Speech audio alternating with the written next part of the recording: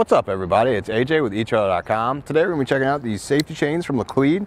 We're going to use this to replace our old kind of rusted up chains that don't have a guard on them anymore. So now with that replaced, it's going to be easy to hook them up and get set up to go whenever we need to tow our trailer. Let's check it out.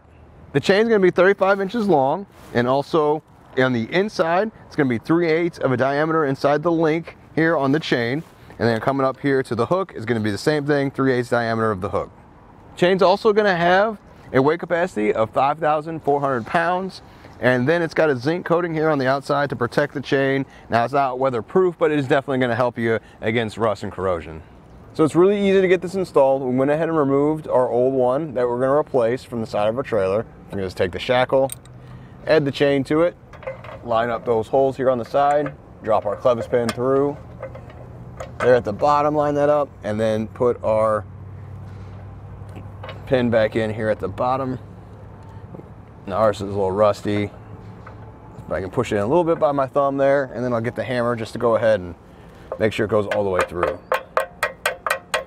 You have to hit it hard, just a couple tabs to see more of the other pin on the other side. Then you can bend those tabs out and it's good.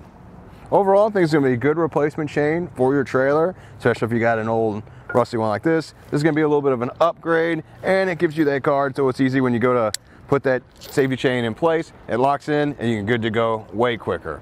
Well, I think that does it. Thanks for hanging out, and I hope this helped.